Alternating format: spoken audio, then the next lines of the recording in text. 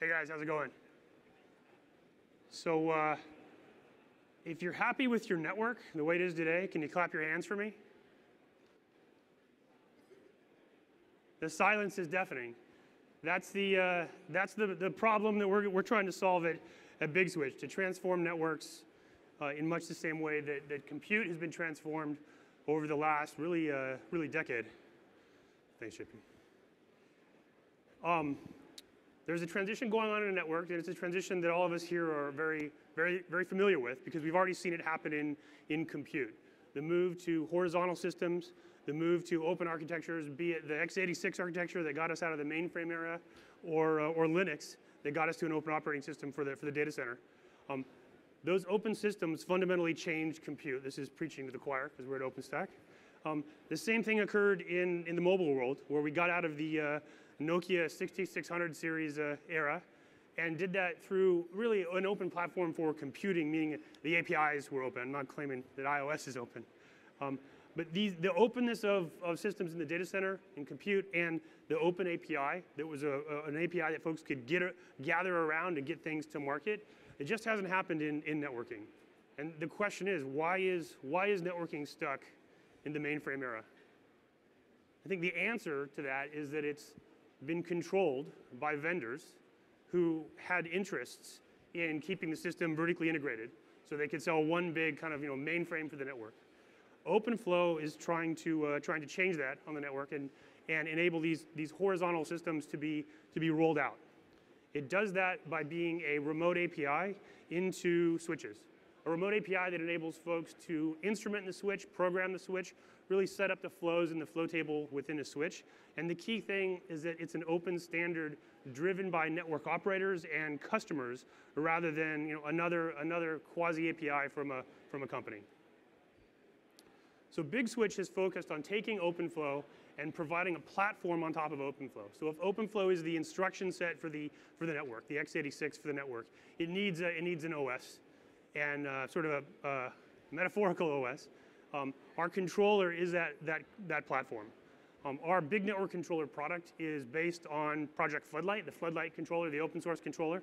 There's been some recent developments in, uh, in, in open source recently in, in SDN with the Open Daylight project um, emerging as well. Our controller has been proposed to the Open Daylight project as a, as a controller as well. So I expect to see the Floodlight project and the Open Daylight project working uh, sort of in, in concert. So we have an open API into the switches. We have an open controller platform that's, that's open source. And on top of that, we have an open API that enables folks to write applications on top of a controller. So it's like that, uh, that commercial from Mervyn's, open, open, open. So these are some folks who are using, uh, using Big Network Controller in production. There's a, a, lot, of, a lot of folks who are building, building products around it, folks who are running, running networks on it. Um, we've seen it emerge from, uh, emerge from kind of universities and research, really then in collaboration with universities and, and companies building products, we've seen OpenFlow really emerge from research and move to you know, commercial deployments really in the last, in the last year. So if we look at the way compute has evolved, we can think of, uh, we're not maybe here yet because we're all working on getting this to be closer, but we can think of the network as, as really being, uh, sorry, compute really being clean and, and automated. If you can you know, roll out OpenStack, you can automate compute, automate storage. The network uh, isn't, isn't the case. As much as we're, uh, we're working on, on quantum, there's a, there's a lot left to do on the network. And today, in the network, if you've automated the way you roll out workloads and the way you, way you spin up machines, the network still has a lot of manual tasks. A lot of um, typing at a command line and a lot of setting up VLANs or, or VRFs or um, changing ACLs or setting up a, a firewall policy by hand. So all the work that's been done to automate computing is lost and turns manual in, in the network. And what happens in many cases is that folks have to fix a subnet to a, a rack or to a, you know, a set in the, in the data center. And when they do that, they lose the flexibility that they were seeking to achieve with, with compute. So we're going about trying to change this piece of, uh, of, of the system and, and automate all the things that are manual tasks that take about, it really takes 10 to 14 days to do all the work on the network to, um, to roll out a new application. That's, uh, that's too long. And these are, these are the kind of tasks folks have to engage in and do manually. There's a lot of things that need to be you know, written down and documented and then chased down at a CLI. Sometimes you just you got to wait for a maintenance window on the network and uh, first at the rack and uh, first at the rack level, then at the row level. These, these manual tasks are what need to, need to go away, and that's what Big Virtual Switch is, is trying to do. Virtualizing the network and making it as, uh, as agile as the, the compute infrastructure that's already, already made a lot of progress here. So the Big Network Controller is the platform that provides the, um, the foundation to program the switches, and Big Virtual Switch is, is the application that virtualizes, virtualizes the network and enables network automation. Won't spend too much time on the, the pieces of Big Network Controller.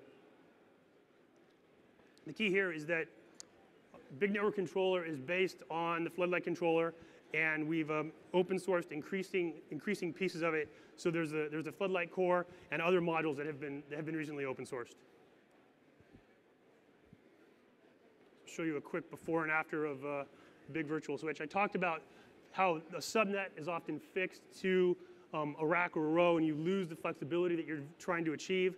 After you roll out virtual, vir Big Virtual Switch, you can mix and match virtual machines inside of a, a physical compute and have IP ranges that might, might even conflict, have those things on a physical network where you can have tenants coming together in compute and on a single physical network, but each of these tenants has their own, their own virtual, virtual network that they can manage. We integrate with OpenStack um, with our Big Switch plugin that we released last fall. Um, we use the Quantum APIs to um, instrument the network on the basis of, of tasks that folks complete within, within Horizon.